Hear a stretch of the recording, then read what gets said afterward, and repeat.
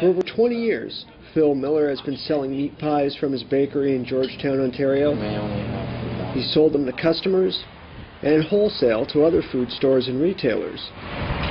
But in late December of last year, he was promptly informed after an inspection by Ontario's Ministry of Agriculture, Food and Rural Affairs he'd have to have $50,000 in upgrades done to his store. My big thing was the fact that they, they no, never notified us. And, and of course, we've never come under provincial regulations either. Including the construction of a special refrigeration room for when the raw vacuum-packed meat is delivered to him to prepare for the pies. Why? Because the meat is coming, you've opened the bag and it's coming into contact with the air and you've got wood up there.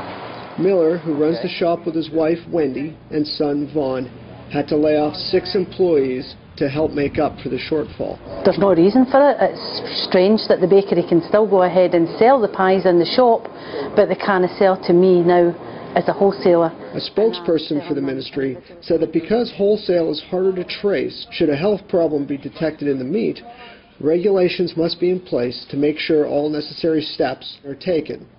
Why hasn't anybody told us about this? And he said, nah. And he said, well, we have advertised it, but there's been cutbacks, and he more or less fudged it off to the public health people. For the Toronto Sun, I'm Terry Davidson.